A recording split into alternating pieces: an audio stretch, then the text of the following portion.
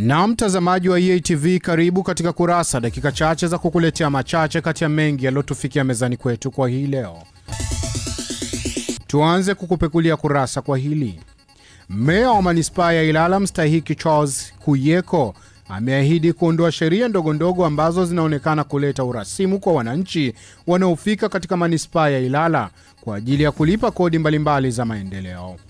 Meya huyo wa manispaa ya Ilala mstahiki Charles Kuyeko amesema hayo leo jijini Dar es Salaam wakati alipokuwa akizungumza na madereva teksi katika manispaa hiyo kwa lengo la kuboresha masuala ya ulipaji kodi pamoja na kufahamu kero mbalimbali zinazowakabili madereva hao.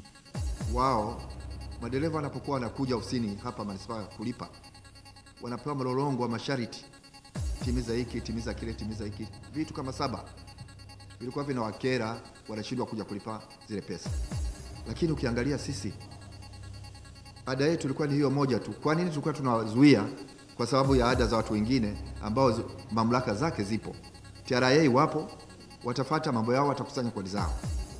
Mamlaka zingine zita, jiji tutapata kodi zao.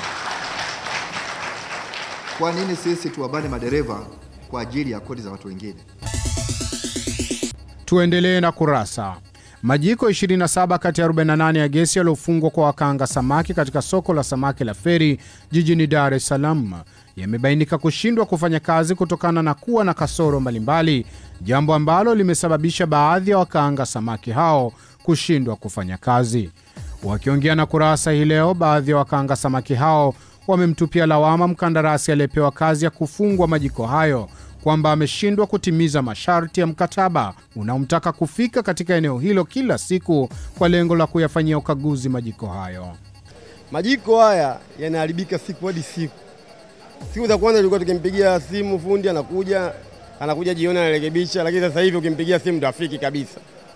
Yaani afiki, afiki kabisa. Nakuja baadaye, nakuja baadaye. Na haya majiko yana mkataba yana yana garantia mwaka mmoja. Tatizo jingine ni gesi. Gesi ukishanunua mtungi ule mpya, kasi inaenda vizuri sana, lakini ukifikia nusu ya ule mtungi ulivyonunua, yaani kazi inakuwa nzito mno, kasi ile moto inakuwa hamna, haina pressure yani. Unakaa unasubiria mpaka anapata moto na unatosa. Kwa hiyo pale tunakosa wateja. Kingine ambacho kina- kinatukwaza sisi wakaangaji, mafundi wa majiko haya waliotuletea majiko, makubaliano tuliokubaliana nayo mpaka sasa hivi yani hajafikia. Kwa nini nasema hajafikia? Hawa jamaa tulikubaliana nao kila baada ya yani, kila siku moja watakuwa wako hapo wakiwa na- wana survey majiko ndani ya mwaka mzima, lakini mpaka leo hii kazi zao hazina uhakika. Tumalizie Kurasa kwa hili. Chama cha mabaharia wazee nchini kinachojulikana kama Karume Retired Seamen Association kimeiomba serikali kutambua mchango wao katika masuala ya ubaharia hapa nchini kutokana na sasa kudai kwamba wanabaguliwa na vijana waliokuwa na fani hiyo. Wakizungumza leo jijini Dar es Salaam, viongozi wa chama hicho wamesema wanashindwa kupata ushirikiano hasa wanapofika katika bandari ya jiji la Dar es Salaam, hivyo wameiomba serikali kuwasaidia ili waweze kutambulika katika jamii tofauti na ilivyo sasa. Sasa tukaona hali kama hii mpaka lini? Tulikuwa kilio chetu tukalilia serikali na serikali ikatutambua. Sasa nataka serikali sasa itutambue zaidi. Leo hii mabaharia sisi wazee kwenda bandarini tunaambiwa sisi tusende, tumepitwa na wakati, na si mabaharia wazee ndio tunawa- tunawafundisha vijana ili waondekane na mambo ya, ku, ya kibaharia. Chama kilikuwa kikubwa, chama kilikuwa na nyumba, lakini viongozi wameuza nyumba hii. Sasa mabaria wanahangaika, hawana pa kwenda, viongozi wamekula kila kitu. Kwa hiyo sisi tunaanza upya, kitu kikubwa ni kushirikiana.